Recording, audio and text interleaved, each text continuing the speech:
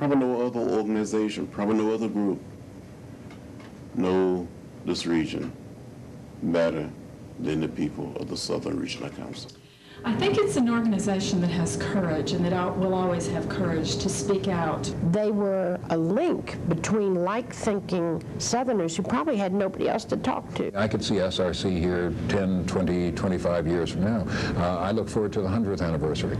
The South is a better place because of what they did and their commitment to see a better South and for us to be an integral part of the United States of America. The Southern Regional Council exists to promote racial justice, protect democratic rights, and to broaden civic participation. And that mission, it drives us towards opening access for all citizens um, in all areas of life.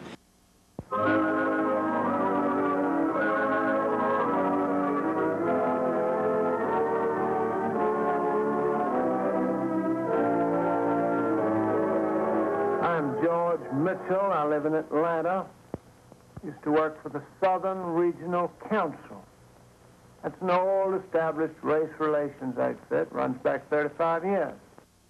The council, founded in 1919 as the Commission on Interracial Cooperation, has engaged Southern communities on issues of democracy and race for more than eight decades. It's a very meaningful organization to me personally because uh, of the role that my grandfather played. Uh, my grandfather was the first president of the executive committee of the council back in 1944. And, and to be associated with an organization that has seen people come through like Vernon Jordan and John Lewis and Julian Bond and others is, is, is an honor. I got into the into the, uh, the civil rights through the Southern Regional Council. You couldn't get a better introduction into the the real historic sense of civil rights. Men and women, black and white, worked together to end violence, to challenge the all-white primary, to keep the schools open in the 1950s, and to bring new voters onto the rolls in the 60s and 70s. At one time, it was the only biracial or interracial group addressing the problem. You had the NAACP, you had the Urban League, uh, of course, and then you had CORE, uh, and then coming on a little later was SCLC, but biracially, the uh, councils and SRC uh, was the only entity addressing the whole problem. One of the important layers was setting up the councils on human relations throughout the South. And the Southern Regional Council was the one who funded that, assisted in uh, selecting of the directors. I was director of Arkansas Council on Human Relations. All the southern states had councils on human relations affiliated with the Southern Regional Council. SRC was an entree to the foundation world. It was an entree to certain journalists. It was a way station for northern visitors coming south. And SRC people often said, you need to go over there and talk to SNCC. So in terms of publicity and publications and PR, they were a really vital link. You always look for the voice of sanity. And that is precisely what the Southern Regional Council was to me. I discovered it in 1947 when I came here. Many of the things that I was seeing happening in my community, they were doing research on it and it would be writ written up in the magazine. Because, I mean, I just read them, I just go through them. And I happened to pick up this one, and they talked about the exact same thing that I had been talking about. And it just did my heart good. I said, oh, Lord. that the Southern Regional Council has always been a place that's far more than the research it does. It's been a welcome, it's been a home. I became the director of the Voter Education Project, which was part of the Southern Regional Council.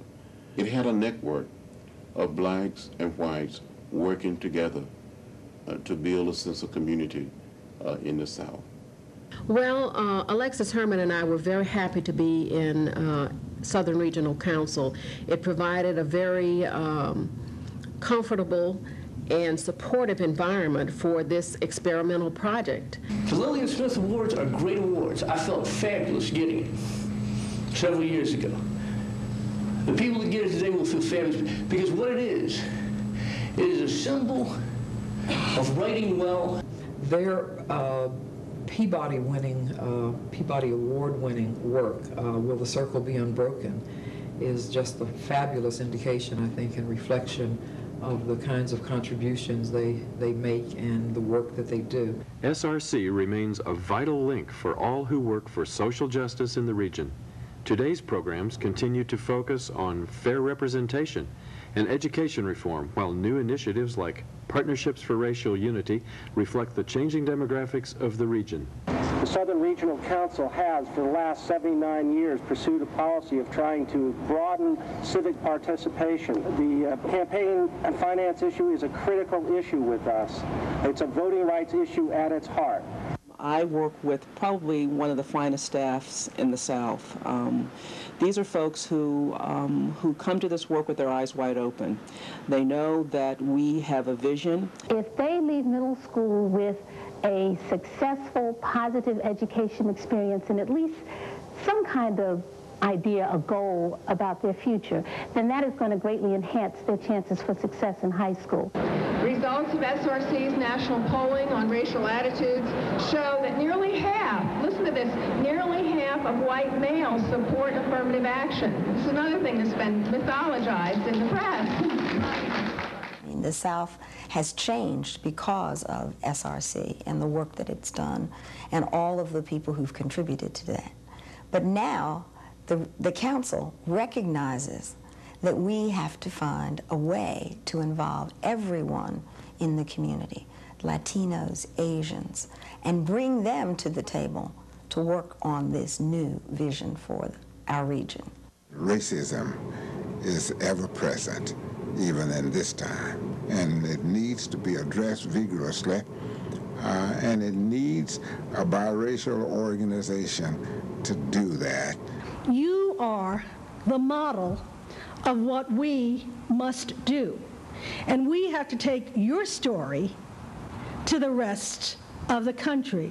And we ask you to continue to do what you're doing and reach out, broaden and widen the circle